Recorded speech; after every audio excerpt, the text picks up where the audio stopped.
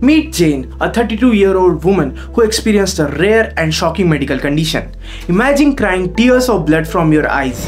This was Jane's reality. Jane initially experienced severe pelvic pain, irregular periods, and painful menstruation. But she was alarmed when she saw blood oozing through her eyes during her menstrual cycle. This led her to seek immediate medical attention. Doctors performed a series of tests and after thorough examination, Jane was diagnosed with a very rare medical condition called as ocular endometriosis. Now endometrial tissue normally forms the lining of the uterus but in case of endometriosis it can be present in other parts of our body which in Jane's case was her eyes which led to tears of blood flowing through her eyes during her menstrual cycle. Jane's treatment mainly included hormonal therapy and surgery to remove the endometrial implants surrounding her eyes. With this treatment, Jane's symptoms improved dramatically